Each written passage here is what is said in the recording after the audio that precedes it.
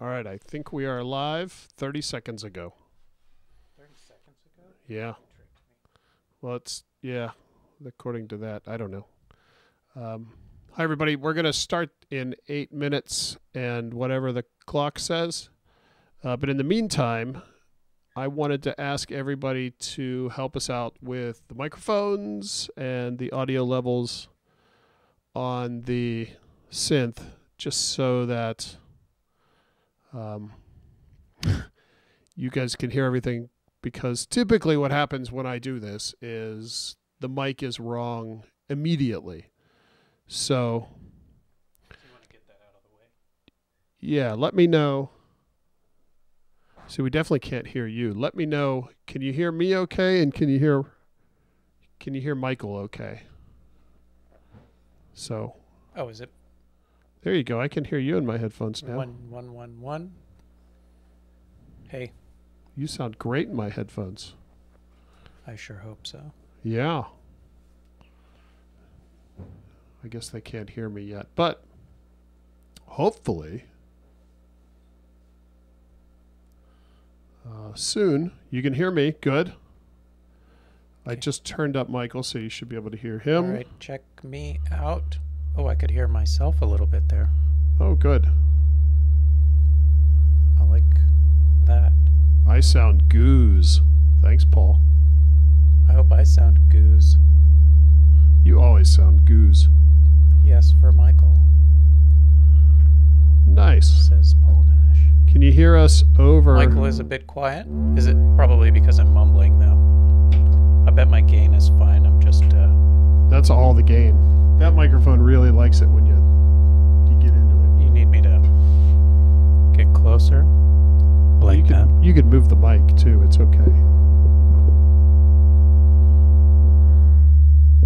So we both sound That's good. You can hear us over the the synth and all that stuff. See, six minutes left to go, and I've already shown the thing. It's over. You don't- over. You don't need to watch it. Hear the sine wave faintly. Weird. Are you listening on a wideband system? Because it's pretty bassy. That's a.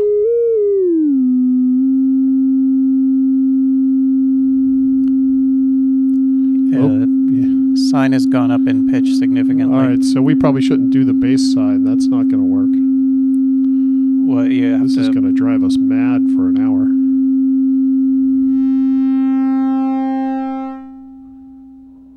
Oh, go. you It's can go nice, a little lower. nice and quiet. But if somebody's just listening on a laptop, they're not going to get the bass very well. Yeah.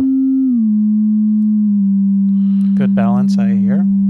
Thanks, Pete. I appreciate the help. Levels seem good. Well, that's good enough for me. So for the next five minutes, This is my favorite sine wave. Is it? It's a pretty good one. This is the. They can't see it yet, but this is the big O sine wave. This is that uh, the new uh, sine shaping circuit that you came up with. This is the first module that we use that in. Oh, right. Oh, awesome. Yeah, soon to be in the new instrument and also in the Voltage Lab 2 when that finds its way to the world. But currently, Captain Big O is the place to get it, and boy, does it it shines. I should say it's uh, it. Yeah, there was no problem with the bass sign. I think it was just the playback of the person Yeah, uh, who made the comment.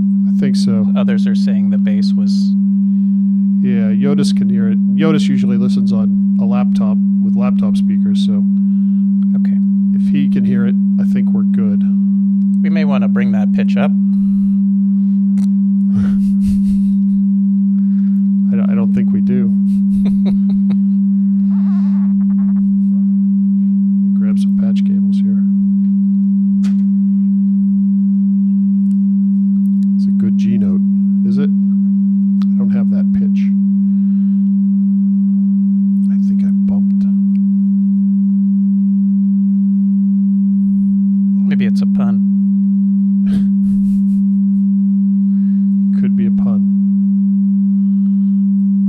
So this is Michael. This is the first time. No, no, you did a stream a long time ago with. I've done a couple. with Perry. I did that one with Perry. I did one in your living room. Oh, that's right. Yeah, yeah.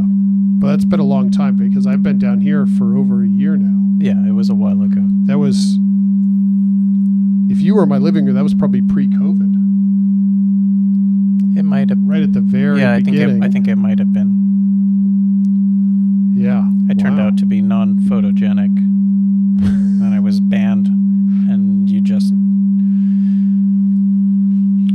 featured the photogenic Herman the rest of the time. Yeah. Well, Herman was willing to stand in the 33 degree backyard with me all Yeah. winter. So That's seriously rough. yeah, we had a few. We had a few of those shows that were miserable. They were so cold. The one day was cold and raining, which Mm. was even better. Awful. But now we do them in Herman's studio, which is a wonderful place to be.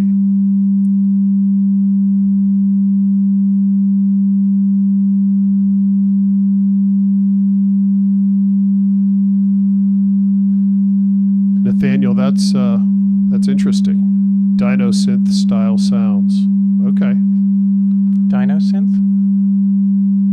he's gonna it's gonna go on his Diplodocus album. Diplodocus is the um, the dinosaur that's out front of the Carnegie Museum in Pittsburgh. Dippy, yeah. That's Dippy the dino. Mm-hmm. I, saw, I walked past uh, a couple days ago. He has his scarf on, ready for winter. Uh, they put that on him every year. He's uh, he's plastic. Did you know that? No, I had no idea. I don't think I've ever touched him. He he doesn't necessarily feel plasticky, but I heard he's made to Hmm. cast out of some space age plastic or something. So he's light. Okay. If you're going to make a sculpture that big, they don't necessarily make them out of heavy metal anymore. No, I can imagine. That's a big sculpture. The thing is huge. Yeah. It's like the size of, I don't know, like a dinosaur. Yes. It is. All right. We're going to do this. Yotis, this is the one I don't know if you're going to need headphones for because um, it's it's it's a visual adventure today, is what we have in store for you. I think it's easy to understand. It, it, uh, it's not like an oscilloscope module, though. I mean, it's designed. It makes. It's best understood by looking at it. I think. The learning of the module is, oh, how'd you do that? Um, it's a camera. I think understanding the module is best done visually, but after that, you could turn off your scope and just listen to it. Yes. Okay, let's. Three. Oh. All right, welcome everybody to my basement, my uh, bunker in the basement here. Today I have, as a very special friend, guest of the show. Uh, he is Pittsburgh Modular, really. Michael Johnsen. This is where the applause Oh, would be. pot that up. Michael, uh, a, like a true shock jock. you know, it's it's an exciting day here in the uh, the COVID bunker. I Michael is the analog engineer, Pittsburgh Modular. He's I I tend to get all the credit, um, although I try to deflect it back to him as much as possible. Uh, he's the one that does the the really dirty work and and solves the really really hard problems that I that I casually ask him to solve in passing. And an, an amazing amazing job he does. Him between him and, and perry and, and ross uh, I, i'm a very i'm a, I'm a lucky uh, a lucky person with a, a great team. So today specifically we're going to talk about something that you came up with um, and we'll talk about the history of it first and then we'll sort of run through the module and explain why it does what it does, how it sounds when you where it sounds best, all that kind of stuff. Mm-hmm. And there's uh, we're gonna try to keep this shorter, although I suspect, like all of these live streams, it'll end up being way longer than it needs to be. That's quite a great prediction. Yeah, It's going to be longer than it needs to be. yeah. it always it always they always end up being longer than they need to be. But I think the module is pretty easy to under to, easy to get the basic idea of how it works. I, I think I think we'll do a pretty concise job of that. But- well, we could we could go through that very quickly. I could just throw the fader here and and really they Give could the whole out. game away. Yeah. Yeah, that would that would do it. The TLDR version. So let's let's talk a little bit about uh, the background of the flamingo, harmonic interpolation, center clipping, and overtones, because the circuit itself is really a collection of three separate sections um, that chain together to give us the final result.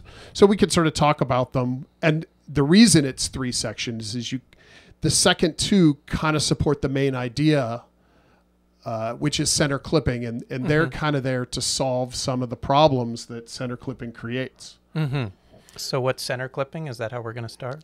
I think we should say what is center clipping, and then maybe a little bit um, about how you got interested in it. Okay. Yeah. Uh, well, center clipping is a an idea that um, isn't all that familiar, probably to a lot of audio people or people using synthesizers. But everybody's familiar with peak clipping, and center clipping is really very similar idea to peak clipping. Peak clipping, as everybody knows, is one way to do that very simply. It's what we think of when we think of distortion, overdrive distortion. You turn a signal up so high that you turn a soft a, a signal with soft peaks into one with really sharp peaks, and you literally cut the top and bottom off of the waveform, and a waveform with sloped sides eventually becomes vertical sides, and the tops and bottoms of the waveforms become rectangles. Um, that's what happens in your guitar overdrive pedal or in your overdrive section of a synthesizer, and uh, that works because it the signal eventually approaches the power supply limits. So in a synthesizer, it's plus or minus 12 volts. The signal gets near there and it starts to square off, and then you can turn it down later on so you can have quiet distortion, but you have a quiet square wave instead of a really loud one. And so center clipping takes that idea and in a way sort of starts from the inside out. Instead of working at the edges of the power supply, you work in the very middle of the power supply, which is the zero volt line, the line that's symmetrically right in the middle of a of a balanced wave. And you instead of cutting the tops and bottoms off of the wave, you cut the middle out. Um, you want to show how that looks? Okay, so we just gradually cut the middle out of the top half of the waveform there. Um, and what's left of the wave gradually shrinks, shrinks down to zero. And you literally can think of yourself as drawing a, a stripe across the middle around zero and removing that part of the waveform. And you can do it to the top half of the waveform or to the bottom half of the waveform. Just like when you do peak clipping, you can do it to the top half of the waveform or the bottom half of the waveform. And um, every time you introduce an asymmetry in the waveform, whether the asymmetry is top to bottom or left to right in the waveform, you um, generate or encourage uh, that that waveform then has even harmonics in addition to odd harmonics. So an asymmetrical waveform, whether it's left to right asymmetrical, like in a, a sawtooth, or top to bottom asymmetrical, like when we do one of these weird peak clipping thing, uh, center clipping things, or peak clipping in a guitar amplifier, for instance, you have an asymmetrical distortion, you generate some even harmonics. And that's the basic idea of center clipping. And since it's a synthesizer module and we love voltage control over everything, we don't just um, give ourselves the option to do that with a slider.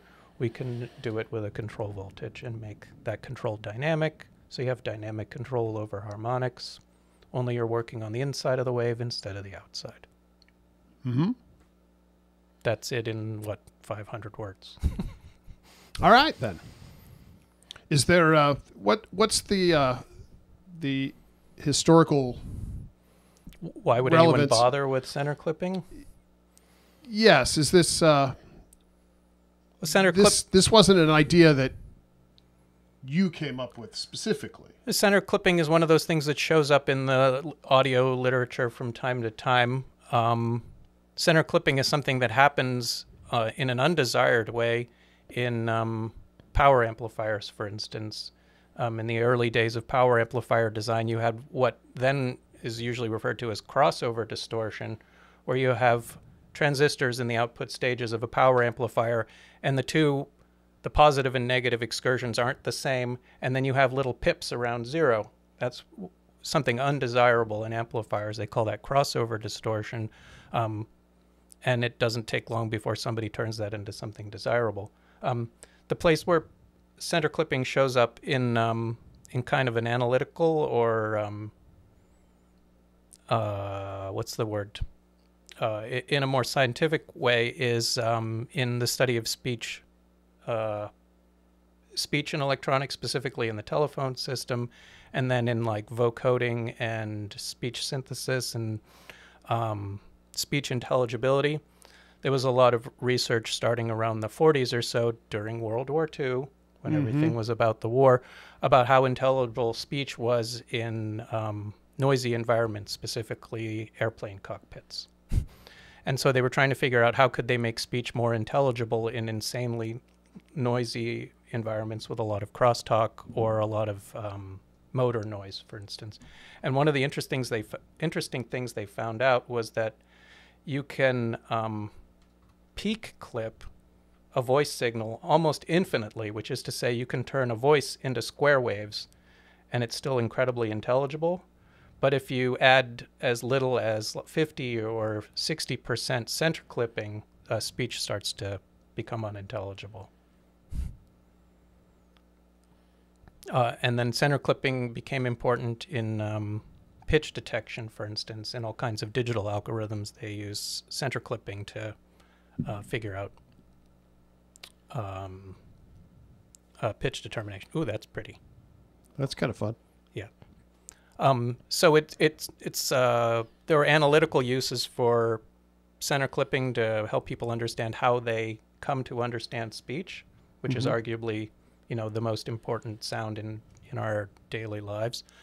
Uh, certainly one that we're most tuned into, but uh, it's not a long stretch to um, to turn that into a creative tool for the generation of harmonics um, in a sort of flexible way it's pretty dry, but yeah, that's sort of the genesis of the interest for me was that I used to do an awful lot of reading about um, how people understand speech. As speech is, you know, as we always say, the voice is the oldest musical instrument. So maybe understanding wh- why speech has such an appeal for um, for humans, aside from obvious narcissistic reasons, is that we like to hear ourselves. um, you know, there are also a sort of acoustical reasons for what is it about speech that we come to find so familiar or likable or whatever. Um, and it, it also seemed like a kind of a missing missing ingredient. You know, we're so used to oh the obsession of guitarists with their uh, tube amp distortion. You know, Mhm. uh, they're totally obsessed with asymmetrical distortion and the best way to produce it. And I always thought, well, there are other. What about the other methods of distortion? What other things can we do to a waveform that changes its shape um, uh, in a way that uh, i i is maybe appealing?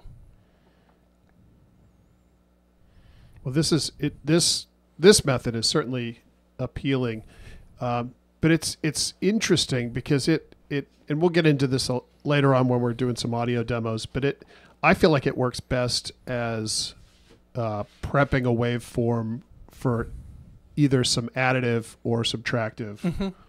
Yeah, as the thing before the thing. exactly. Yeah, so to it, speak. it um, it's n- n- we've come to uh, as a as a company or as uh, as a bunch of people, we've done a lot with different kinds of wave shaping and distortions and things like that. And wave folding is something that we've put an awful lot of energy into. Um, And this can be considered another kind of nonlinear wave shaping that plays uh, really well with those. So center clipping as a part of a system um, uh, that involves a, uh, think about sending this current waveform that's doing this sort of gentle center clipping and the, the way that it's adding uh, dynamic change and even harmonics to send that to a wave folder uh, or uh, filter it an awful lot. This is sine wave, so there's not a crazy amount of harmonics, but Mhm. uh, you know, imagine it, uh, or send the folded wave into this, for instance. Yes. Yes. Right. It's also, in a way, you can consider it a really crude kind of a VCA, in as much as the waveform as currently shown also has a change in amplitude. Right. So you can th- Mhm. think of it as an amplitude control that um, has a simultaneous change in harmonics. Well, gee whiz, that's what most real world amplitude controls are like anyway. You know, you hit a drum, there's a change in harmonics over the course of the amplitude envelope. Uh, VCA doesn't have. If you think of this in a sort of VCA way, right, where you're turning it on and off in a way that makes the signal at one point quiet, at one point full loudness, and in between you have some changes in the harmonics. Well, a lot of natural sounds actually do that. So it's like a VCA that works from the inside out, in one way of looking at it. Interesting. Interesting. And just just to clarify, we don't have the sound on because I didn't want to drown out the talking with a, oh, right, sure. with a sine wave. So that's that's why you can see it. 'Cause It's interesting to look at, and it sort of it illustrates what Michael's talking about. But at the same time, it's not uh, driving you crazy to have to listen to a sine wave. It also looks like um, dinosaurs holding hands. When we get to overtone, we can uh, you can make the bat symbol. So You're, you've got that's your ace in the hole. That's it. That's what I've got. so th- this is, in layman's terms, what we're doing is we have independent control of, if I pull out the CV here and just manually Mhm. control over the top and the bottom, and and again, what we're doing is we're not attenuating it. It's it really is getting sucked in to the center. Right. So that slider is, you can consider it a threshold control. It says any signal that is uh, between zero and a certain voltage threshold is going to disappear. Mm-hmm. This is literally cutting out a band around zero. And sometimes that band is more positive and sometimes it's more negative. And in this case, we're doing it with uh, Rick's fingers. Yes, we are. And I think, um, and specifically to the flamingo here, then if we did want a voltage control we Mhm. have one CV input here that we can then assign. I have a sine wave from uh, the double helix, which is off camera here to the left. So that's the control signal. And that is, yeah, the CV signal. And we can control the positive with the CV. And you can see the, the negative then is not controlled by that. It's just positive. I can control the negative manually. Mm-hmm. Um, we can enable the trough CV control and allow then that CV. So what what the label that says peak and trough is the positive uh, half of the waveform and the negative half of the waveform, Yes. like the top of the wave and the bottom of the wave. Mm-hmm. That's for the viewers at home. That's an interview technique where two people say something that both of them already know because they're Oh, really yeah. saying it for other people. Interesting. Interesting. For those people at home are saying peak and trough, Peak and trough. where do the pigs eat? In the peak or the trough? Mm, They eat in the trough. So let's let's move on, and we're getting, and you can see already the problems that center clipping creates. If we Problems. if we go to some extremes here, you can see we don't have a waveform left. Exactly. Yay. we And got now- rid of that tiresome waveform. So if we have, and I got to turn the frequency back up here. If we do add some audio,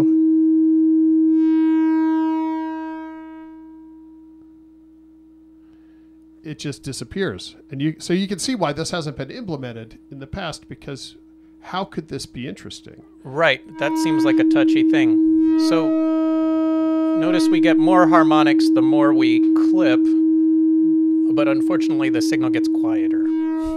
Yes. So it's more harmonic content, uh, but the overall signal isn't as loud because we're losing amplitude as we're cutting the middle out of the wave. Mm-hmm. So let's let's Darn move it. on to how are we going to solve the problem? but before we get to that, let's talk talk about the second section, which is the overtone section.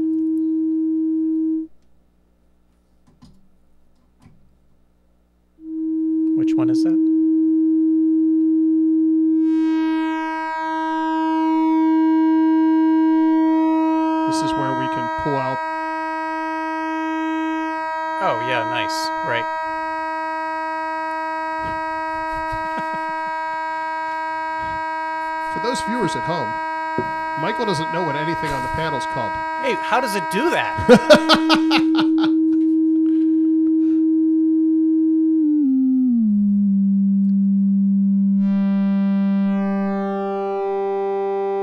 So we can, using the overtone, pull out the fundamental. right. So what we're really can I say what we're really doing? Sure. So when we're uh, when Rick is moving the control labored labored mm, labored the one with the label overtone, what it's doing is subtracting the input waveform from the clipped waveform, and when we do that, we make it possible to actually remove the fundamental from the clipped waveform, and we get this kind of um, hollowed out version of the original signal with just all those new harmonics. Right, so if Rick sets it just right, right, you can hear that fundamental disappear. Just disappears. Nito Keen. Mhm. And you get what looks like uh, a single folded wave Mhm. because that's pretty much exactly what it is. Right? So there you can see the kind of um, overlap between this shaping technique and uh, classic wave folding, which we've done a lot, lot with already. But we have a kind of voltage control over the uh, loss of the fundamental or not.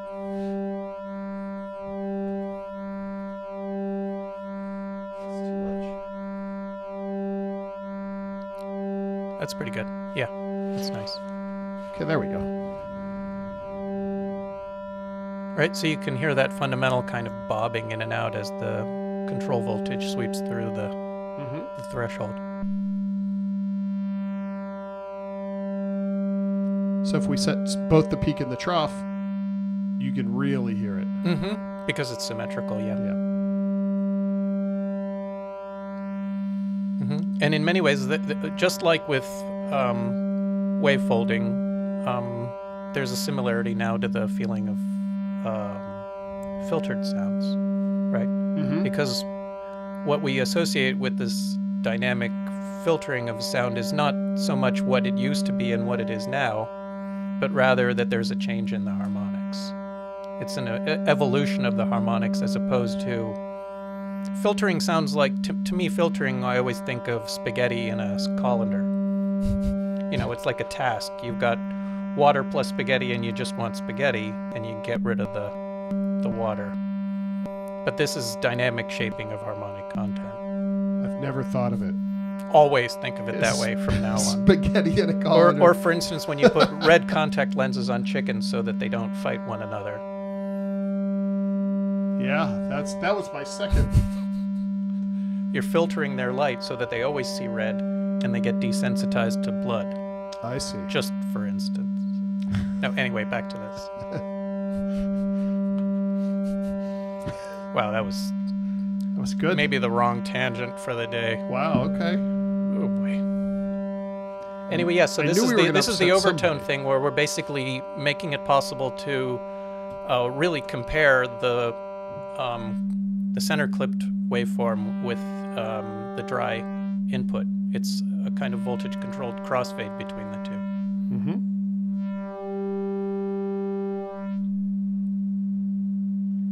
And then this still doesn't solve our problem, though. Darn it. In a way, What do you want to introduce? you still the, run into What are we calling it? Drift?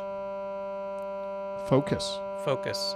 No, no. Uh, but drift is the one that, Oh, drift. Yes. that does the. Yes. Is that next or? We could talk about that now. Yeah. Okay. So the control that we've labeled drift, as Rick just gave it away, you can see the sine wave moving up and down slightly uh, in a DC way, um, up and down from the zero line. And what that does is it introduces uh, a slight offset in the signal so that it hits the clipping uh, in different places because the clipping is determined exclusively by uh, positive and negative thresholds. If you move the waveform to meet the threshold, um, create another place for asymmetry, and you can get the uh, the classic cat ears uh, bat wave. Mm-hmm. It's a classic. K- Kilroy the cat. And this is another. We have a CV input for this as well. Right. Uh, the So that's a kind of a guaranteed uh, asymmetry. yes. You're forcing it on it. Mm-hmm. And then when you do use CV, the uh, slider, there's no dedicated attenuator. The slider becomes the attenuator. Just to insert how this actually works on the module itself. Right, and that's in the manual as well, in case that wasn't 100% clear. Mm-hmm. Which I worked really hard on, by the That's way. really nice color. Yes. Yes.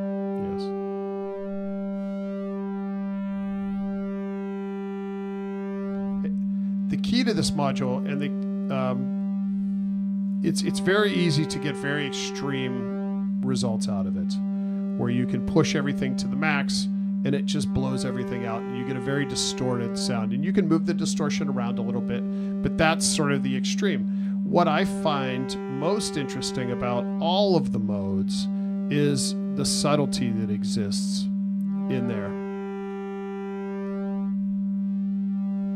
and how you can move things just a little bit and it changes how it sounds, how it looks quite a bit before it totally blows it out. So I think the subtlety to it is really something that's very interesting. Yeah, I think that's one of the reasons it doesn't have 100 controls on it either, is so that um, you can actually spend some time with each of the controls. Mm-hmm. and see how they interact. And um, right now we're using very uh, slow control voltages, but imagine as well that you use very short control voltages to generate um, very quick momentary changes in the harmonic structure, and then send that same control voltage to run the VCA on the signal, and you have a very kind of evolving percussive sound, for instance, that's not like most drum sounds. There you go, something like that. And then you might, for instance, send this signal downstream to a VCA that's controlled by precisely the same control voltage or one that at least has the same start so that you could uh, maybe have a different decay on it.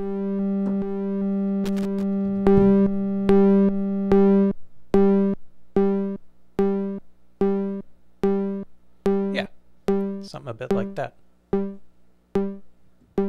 hmm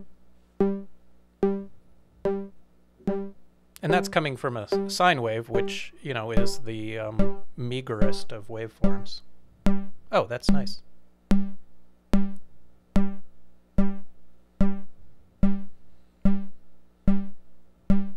That sounds very nice.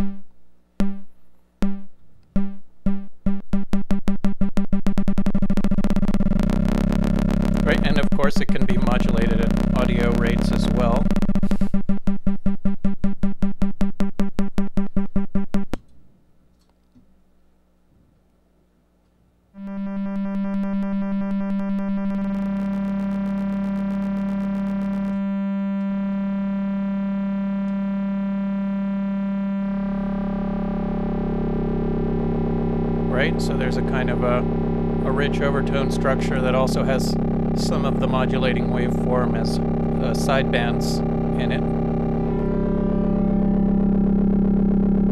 Are you messing with symmetry there? A little bit, yeah. And you can control the amount of the fundamental that sticks around depending on if you modulate only the top or the bottom, or if you use the um, the overtone slider to try to de-emphasize the fundamental.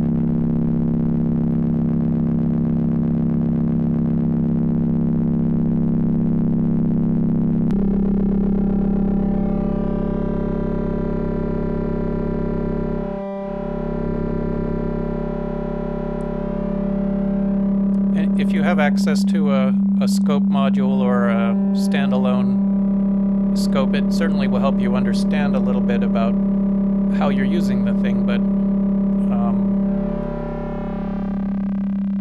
whether you choose to look at it the whole time, you're definitely going to have to hear it at one point. So It's nice to see what it's doing, but it really is a follow your ear situation. it really is a follow your ear situation, yeah.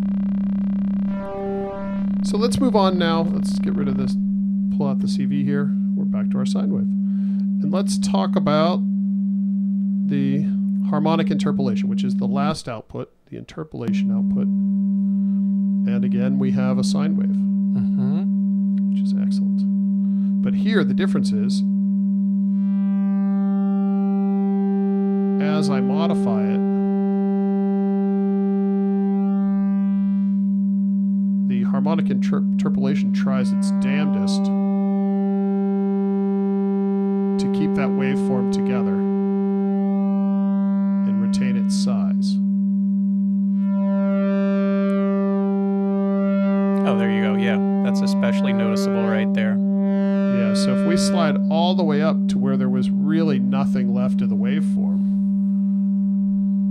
full, and I can pull this out and go back here, you can see there's nothing left. So that was the, the output we were using earlier, where we were clipping it all the way down to zero, and then Mhm. we made the thing silent. With the, uh, this is the second output that we've called harmonic interpolate. Mm-hmm. Yeah. What happens is that the the signal that was clipped now runs through an additional circuit that uh, tries its darndest to bring the signal up to a standard synthesizer level. So it's a kind of a gain control loop that um, forces the signal into a standard synth level, uh, and in doing so, uh, adds some new shape changes as well.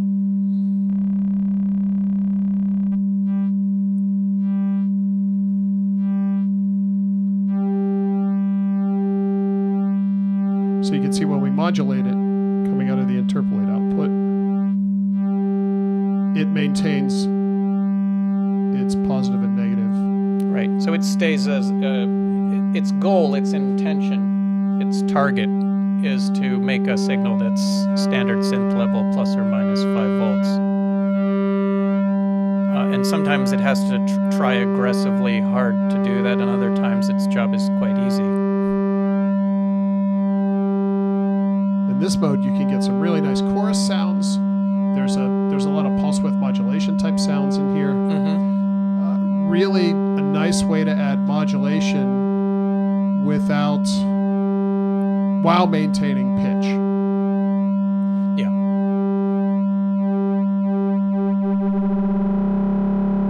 Right, like right there. We can even go. So in many ways, it um.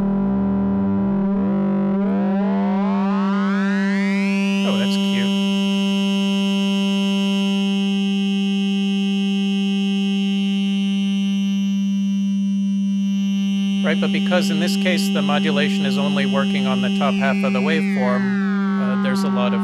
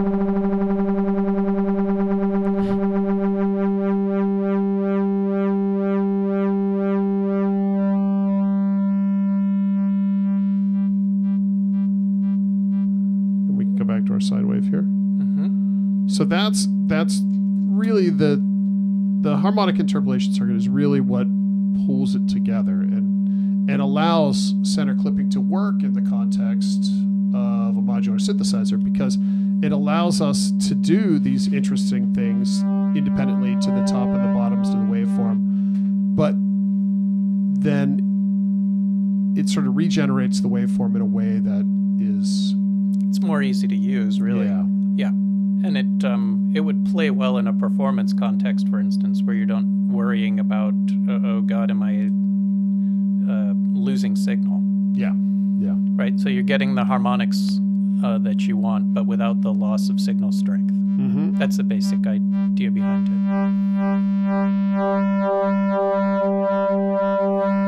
So, G Rick, why would we still have the plain old clipped waveform available? If this one's so great.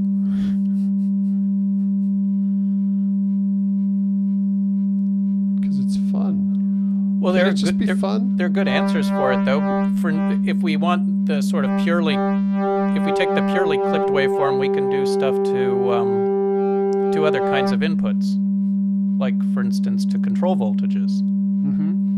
Mm-hmm. Right? Since the circuit is DC coupled, we could use the purely clipped thing, the purely clipped output, and do all kinds of crazy chopping and clipping to uh, an evolving uh, sequence, for instance or a sample and hold uh, output, and we can generate evolving patterns that uh, the evolution of which is controlled by the clipping levels.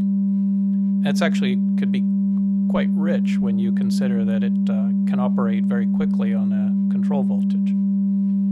That's a maybe a, a less obvious use, or send the clipped signal then to some kind of a slewing circuit so that you can also have uh, shaping changes. You could do point by point synthesis, for instance, and kind of draw a waveform with a, a fast clocked sequencer, and then do point by point waveform shape control with clipping. okay yeah And f- for those reasons, the clipped output wor- is better because you actually get a, a true look at what the performance of this the, the circuit does mm-hmm. before that kind of cool interpolated output where you're always bringing the signal back up to five. If for Yeah. controls for a control sequence or point by point drawing of the waveform, you'd actually want want the signal to go down to zero so that you you get the dynamic changes. mm-hmm. Or if you were doing that VCA trick that I mentioned earlier, you'd want to use the, the clipped output only because you'd want the signal to actually become quiet. yes yes So there are good reasons to use both, and uh, that's why they're both there. yeah Ta-da. ta-da again they all sound different They do, and they they they're sonically very different. Yeah, that's true too. So in, in its simplest, you know, you're working your way from left to right on the three outputs through the entire circuit, but at any point you can stop and say, "This is this is the sound that I'm looking for." And that's usually that's the way pretty much all of our stuff is designed in recent years too. Is that there may be some relatively uh, there, there's some thinking behind the panel, but you don't necessarily have to think to use it because the oh there you go.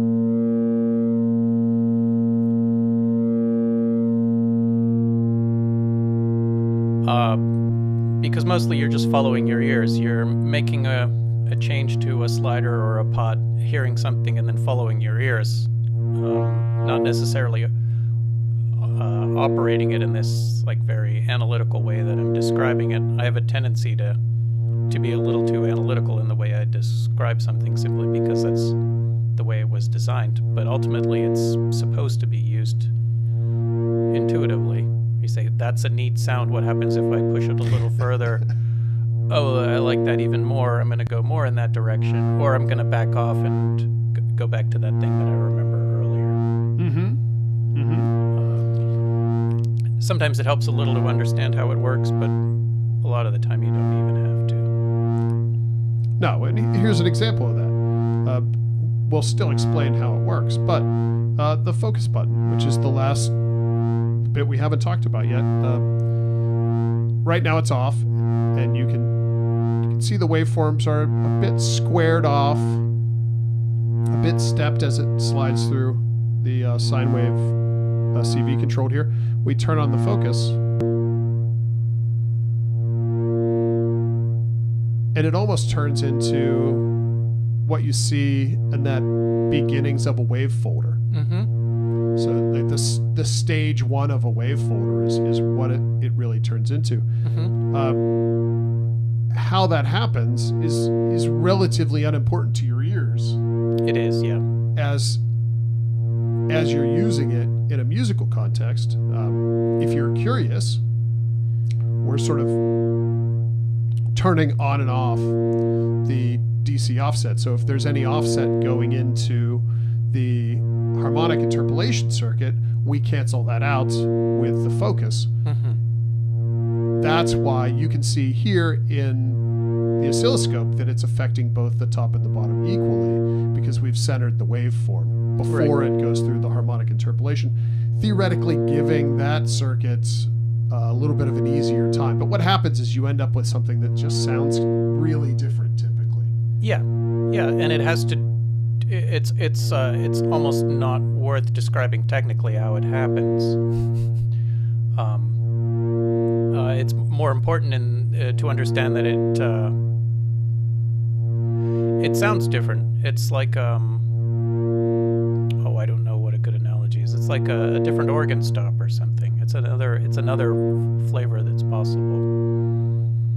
For the same re- for the same reason on the new synths, uh, when you select a waveform, you're selecting what I've called the seed because the geometric shape, the raw geometric shape, becomes less and less important. That's right. It really does. So what happens earlier downstream is really less important. So Right. It's a matter of, of what happens to it that ends up being more important than how it's done. so here we have a tremendous amount of Right. So you can you can hear now how it does this kind of um, interesting flutter sort of a thing.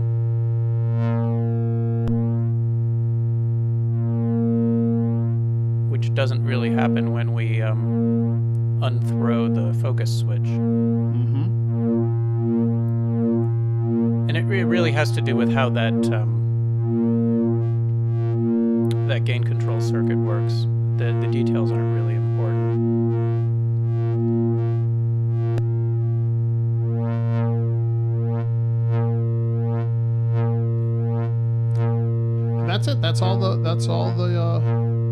features of the flamingo.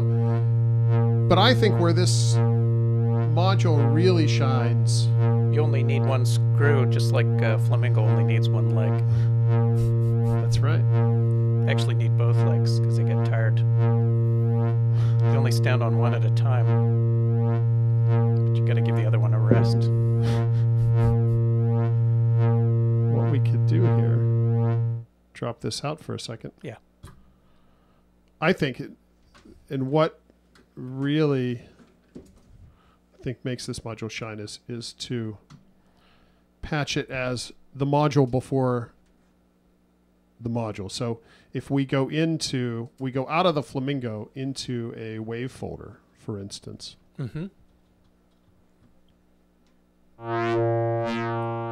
and we're just using the wave folder built into Captain Big O, which I think is a, a really nice circuit, a really great sounding wavefolder. So here is the wavefolder full off. So that's just the effect of the flamingo right now. Yeah.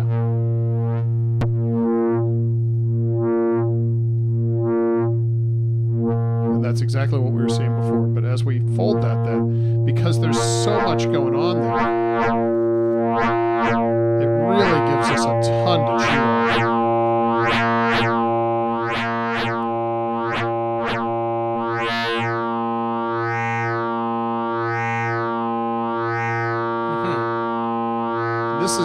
Goes back to almost some of the ideas we put into the original voltage lab. Yeah, that's the, uh, right. The idea of cascading wave shapers to take complex waveforms and make them even more complex. Right, which I think a lot of people thought was going to be a really bad idea. Slow down, man. you don't want to do that.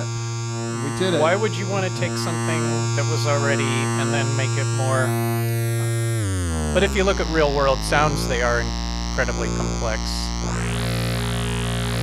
I think one of the hang-ups in analog synthesis is that everybody feels like they need to recognize a waveform. Well, they it's the, it's been the same waveform. That's what I mean. That it's it's such a an Im- impoverished um, sort of set of origins, a handful of waveforms. You really have to get away from from those descriptors, you know, and say stop thinking about whether it's a saw or not, and just sort of hear what it sounds like and what kind of content it has and how it changes. Yeah.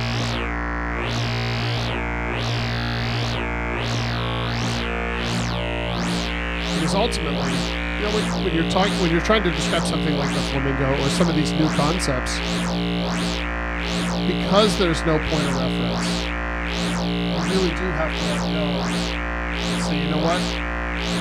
The original waveform's irrelevant. We're using a sine wave, but there's no sine wave left in this. Right, and I, and I think in that way the uh, the term that you've chosen, seed, is pretty appropriate because it's um, it's just the little kernel that helps to give birth to something that looks a lot different from the from the seed itself, like the the bit of dirt that uh, the oyster turns into a pearl. You don't say what kind of dirt was that necessarily. You know, you're more interested in the processing that happened to it. And the, the, the seed or the, you know the waveform. assuming that it, you feel like it is a pearl and not just a, a, you know, like a cyst or whatever, which a pearl ultimately, I guess, is a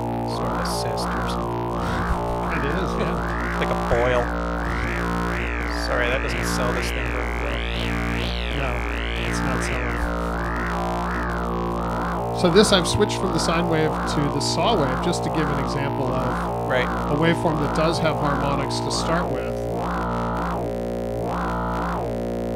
And we can even, this is actually an interesting use because going into the wave folder, mm-hmm. wave folder, you're going into an amplifier. That's right. Yeah. So this is a this is actually an example where the original clipped output and the overtone output can really add some interesting sound. So if we start with everything all the way up here, get rid of our CV and go in. There isn't much going on, but we can see as we bring it down, and we'll miserable little s- saw. yeah, we'll go. Now the fold is fully folded at this point, but we're controlling the amplitude of the waveform with the flamingo. You can do some really interesting things just with that, Right. using different sides of it. Because the wave folder, its primary way of deciding when to fold is how loud is the signal coming into it. So if you dynamically change, change the loudness that is of the signal going in, you're automatically rubbing up against the wave folder in an interesting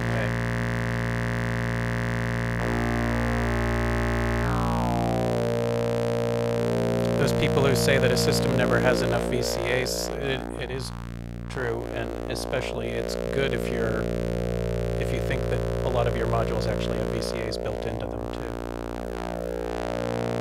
or things that are like VCAs. Oh, that's pleasant. This reminds me of those uh, those snakes you get for the Fourth of July Oh yeah. that sort of start and then just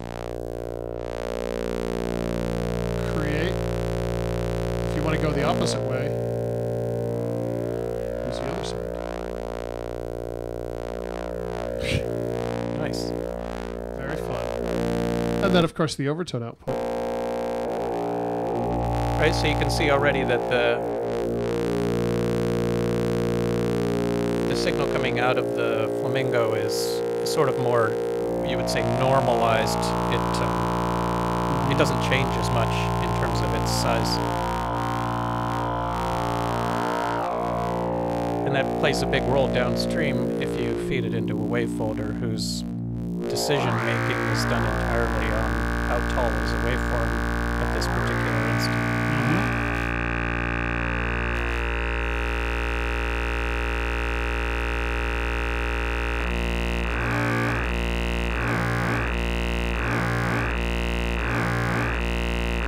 It just gets so complex so fast.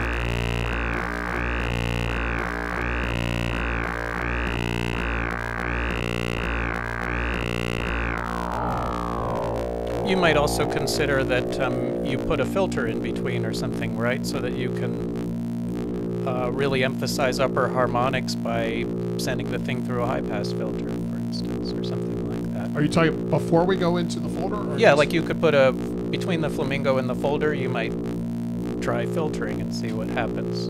I think we could try that. Do we have something handy to do that? We certainly do. Or, you know, you switch the responses and see what you like. You may emphasize a part of the spectrum. So coming out of the high pass filter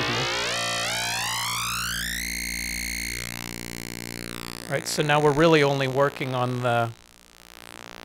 If the flamingo produces a lot of high harmonics, then we've got something to work on because it's only those that find their way eventually through to the folder. Whether that's interesting at the moment depends on how we tune stuff. We switch to the band pass, we might get some. Right.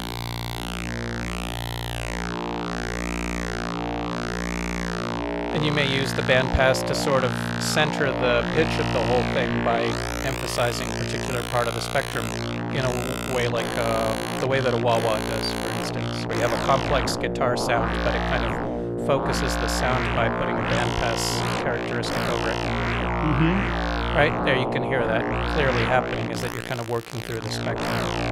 Yeah.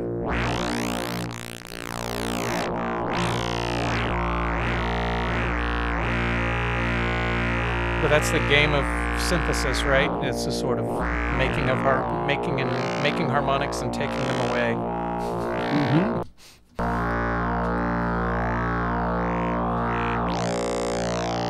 I typically run when I when I'm using this. I have the dynamics controller from the voltage lab that I typically use as my VCA, the low pass gate mode, Right. uh, the filter mode in the voltage lab that I use as my VCA.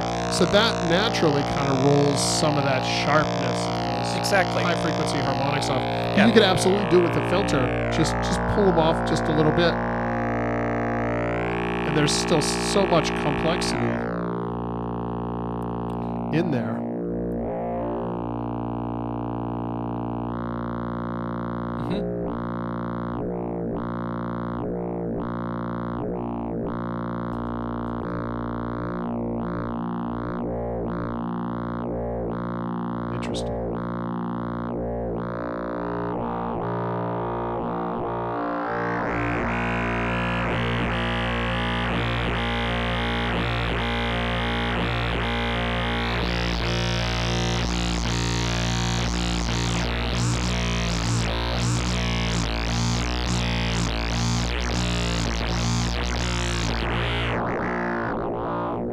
Turning the the wave folder down, or we could even just, for the sake of cleanliness, Mm-hmm. Cleanliness. pull it out and just go. Where do you put cleanliness? Cleanliness in your rack? I put it next to godliness. So now we'll just we have a filter here. We're in low pass filter mode. hmm So wait, it's flamingo into filter. Flamingo into filter. We have a saw wave into the flamingo. That's the entire signal chain here. Hmm. That sounds incredibly pleasant. Right. There's a kind of a a formant feeling there. You know, a bit like uh, overtone singing or something like that. Uh huh.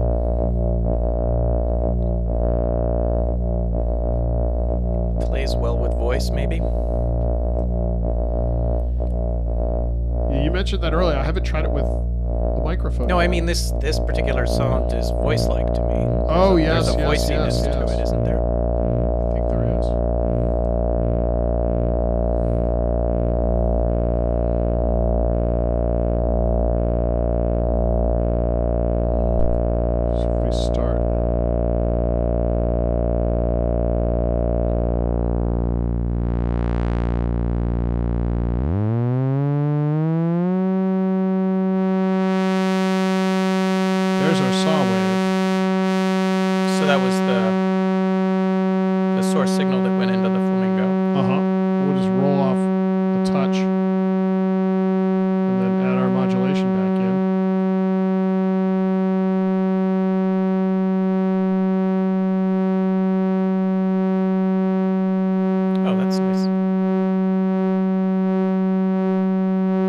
So it really is using the drift a great way to get some movement in a waveform that is typically static, Yeah. like a saw.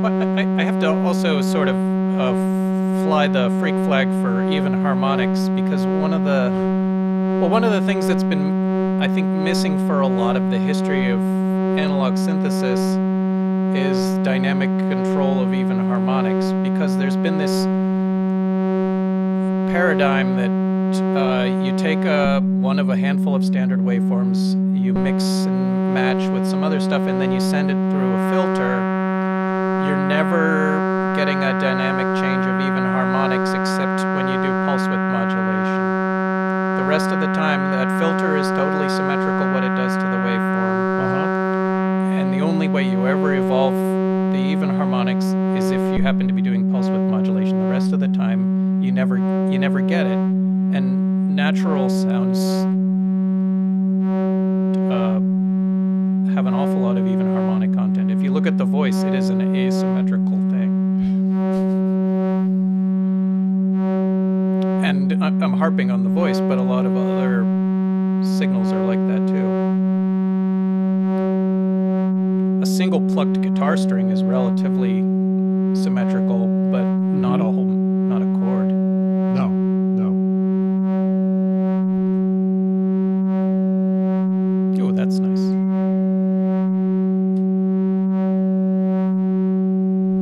some similarity with some of the other new wave folders that we're sneaking into some future synths as well.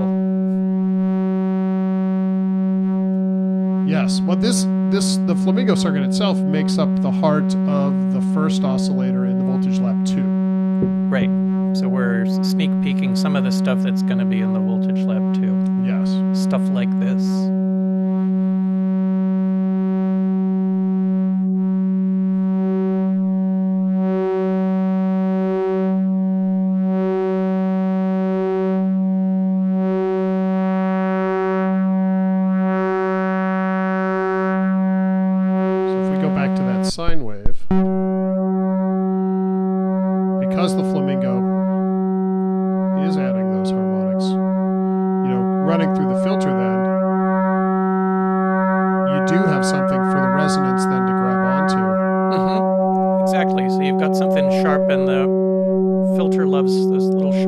to make some ringing resonances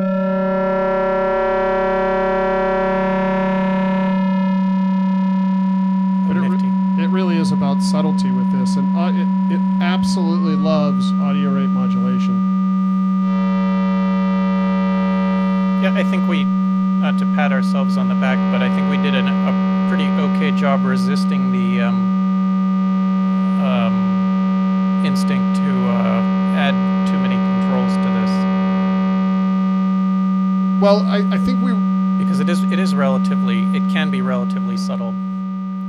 I think we were lucky in the sense that because this was designed with an eye towards the Voltage Lab 2 and all the other features that are in the that first oscillator, Mm-hmm. uh, we had to sort of pick the hits, so to speak, and say, okay, here's here's what we can do. Now this module, it breaks it out in a little bit of a different way. So this module actually has more. It has more controls than will, will probably be in the in the upcoming Voltage Lab, but the um, the It sound does. the sounds are in there. They're just it, it's the nature of a of a whole instrument that you have to embed some of this stuff. Oh, neato.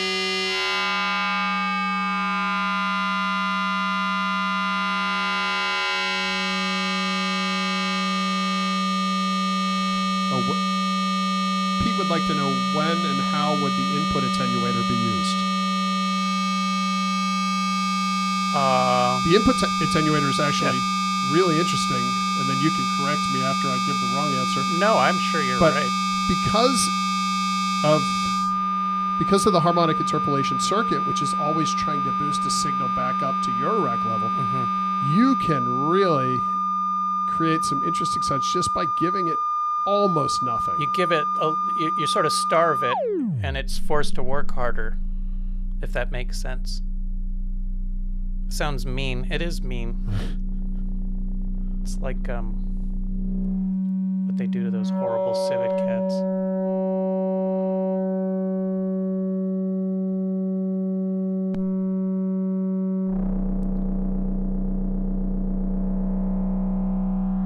So you can hear the waveform is staying the same size, but as I change R- the Rick is input level, attenuating the amount of signal that feeds the thing. He's using that input attenuator. you can hear the sound changes pretty dramatically.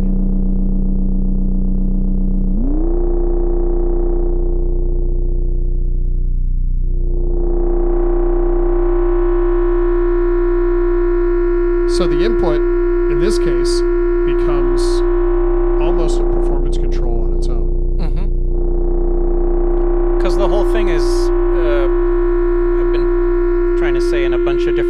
it's about it makes its decisions based on signal level. Mm-hmm. Uh, it's about gain and it's about thresholds. Anything that you do that changes those relationships is going to be a, a significant change. One of them is changing, the, attenuating the amount of signal that gets in. It's, it really is that simple. But Rick has found an exceptionally interesting place that that's manifested automatic gain control output, the interpolate output, you're s- sort of starving it by um, attenuating the input signal. And that can be voltage controlled as well. There's no voltage control directly for it on the module, Right. but simply throw the signal through a VCA before you go into the Exactly flamingo, right. and you have voltage control over that. Yes. Yes, exactly.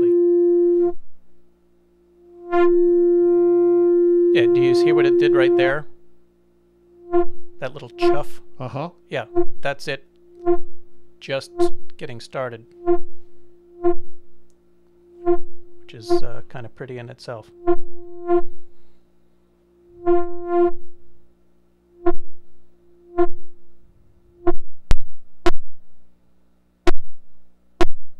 hmm And now when you're throwing the, the is that the focus switch you're throwing? Uh huh. Yeah. You can see that it's um it's having an even harder time coping and you get this sort of very rapidly pulsed kind of a thing. Which is very nice in itself. And then this, what we're hearing now, is actually the modulation oscillator. Mm-hmm. Ooh,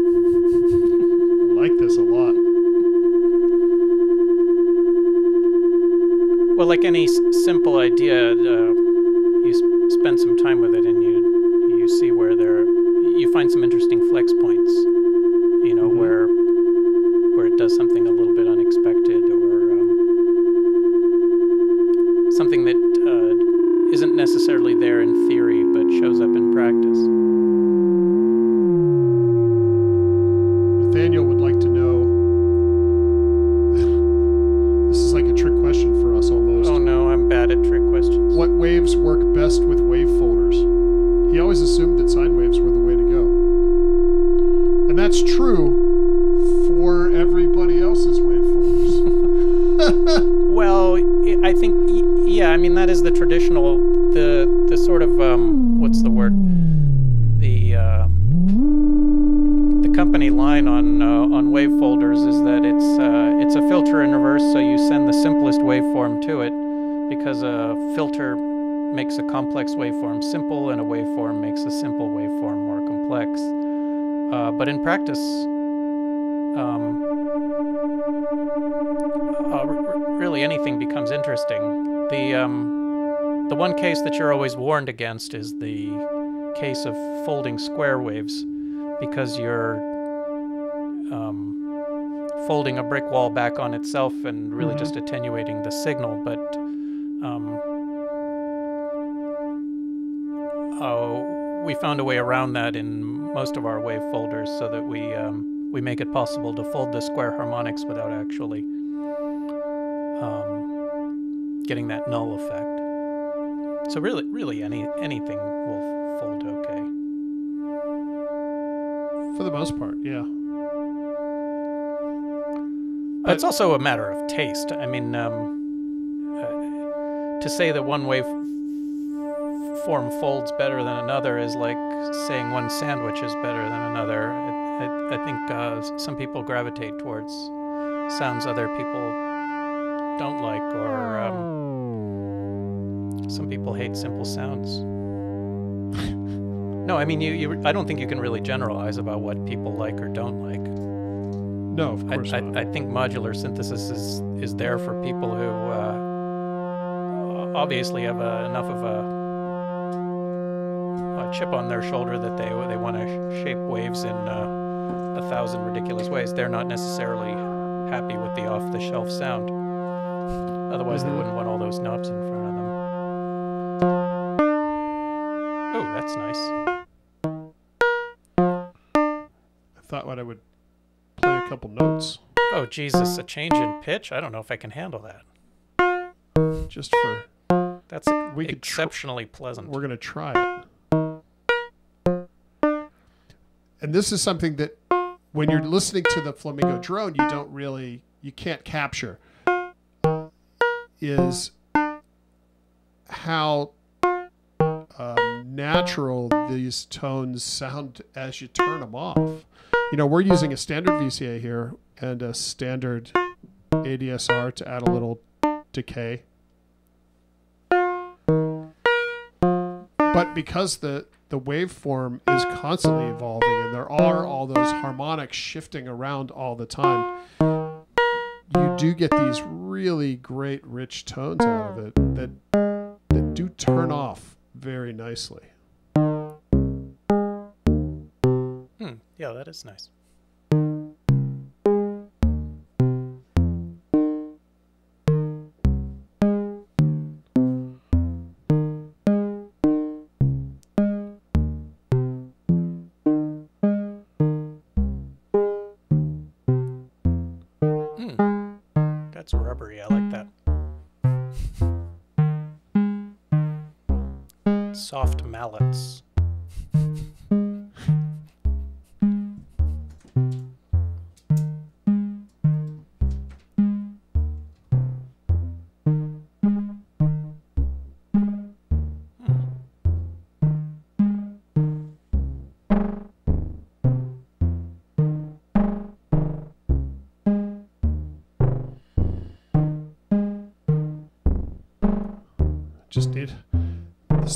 Time I don't have the delay and the reverb hooked up.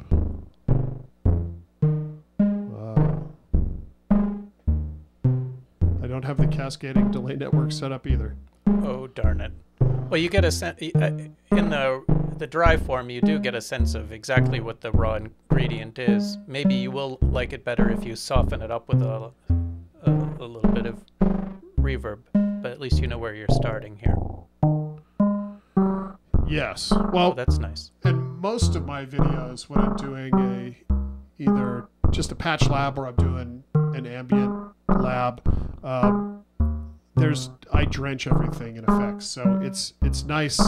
It's something like this. It's really focused on one module to to showcase what it sounds like on its own, so people can use their Right. imagination to add the reverb and the delay. Or what you could do is put your speakers in the hall and listen to them from the other side of the building. You And could. then you'll add some natural reverb. Oh, that's nice. I like that creeping low frequency info. No, that's kind of menacing, but it's sort of Uh-huh. sweet on the top and menacing on the bottom. That low frequency is seriously menacing.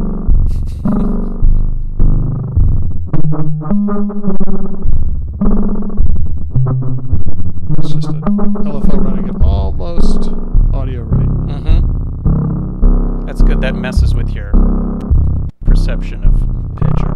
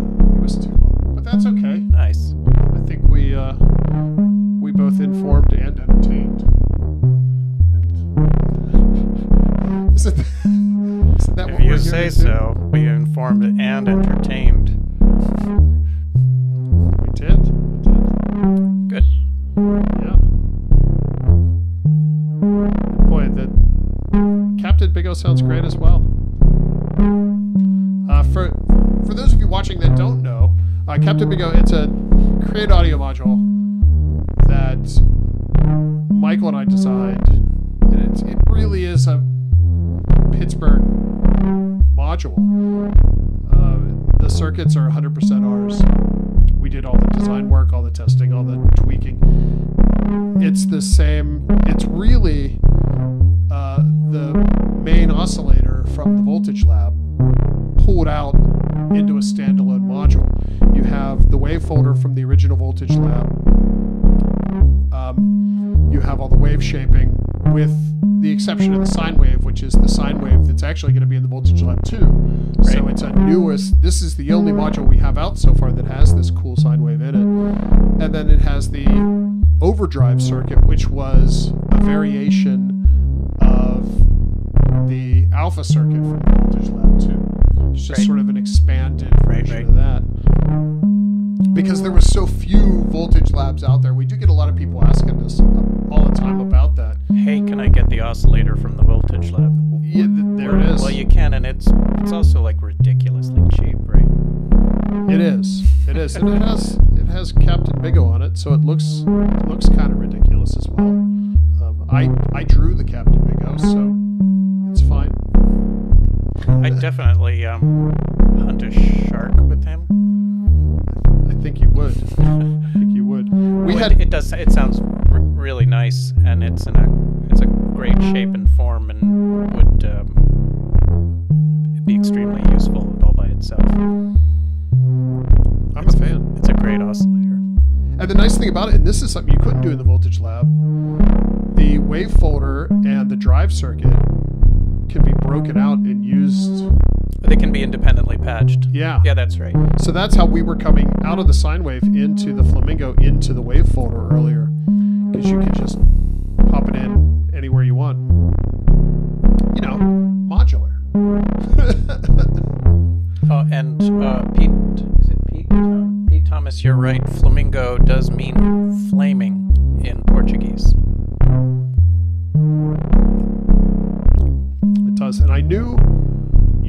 This off the top of your head, but I I've forgotten. Um, I knew what a group of flamingos was called. I don't actually. How embarrassing. It's wonderful. I can't remember what it is. Danielle's probably going to text me, tell me, because she's the one that Googled it. But it, She's our lifeline. Do we get a lifeline on this game show? she did text me once and say you were too quiet. Uh, But there was nothing I could do because your gain is totally up. And you were on a roll, so I didn't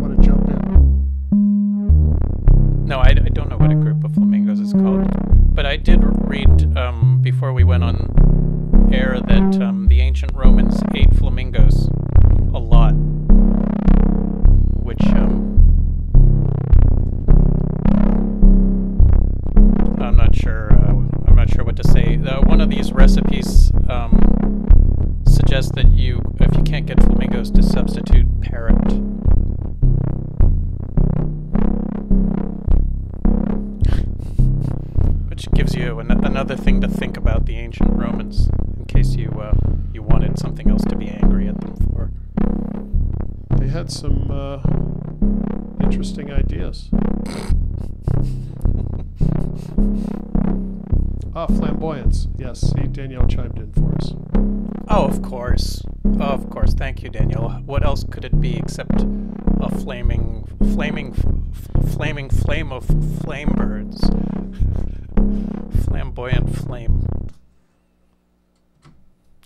A flicker. I did that backwards. Yeah, you stopped it. It's not fun anymore.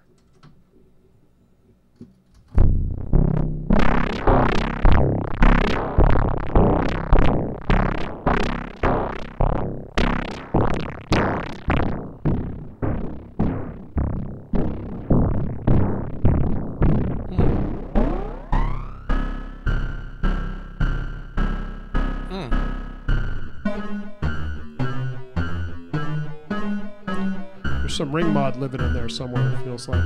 Yeah, well, I mean, it does. It is a kind of an amplitude modulation, right?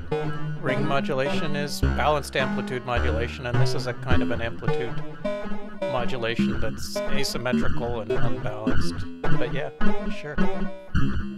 A lot of this wave folding, uh, center clipping, you can consider it a part of the sort of bigger family of modulators. You get those lovely metallic qualities right now. Similar stuff sometimes to what you get from chorus type effects, very short delays. Mm-hmm.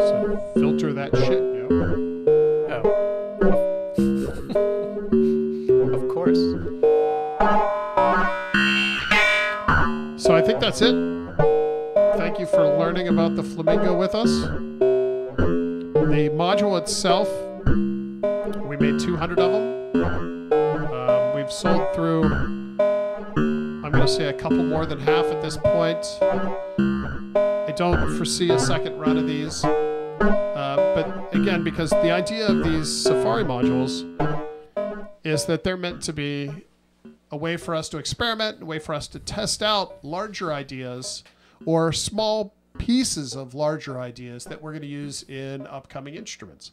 Uh, the Flamingo, for example, is going to be in the Voltage Lab 2 as part of the first oscillator. Uh, so it's they're really all of and all the Safari modules are like this. They're really just a way for us to share some of these little cool ideas that we've had that we find really interesting.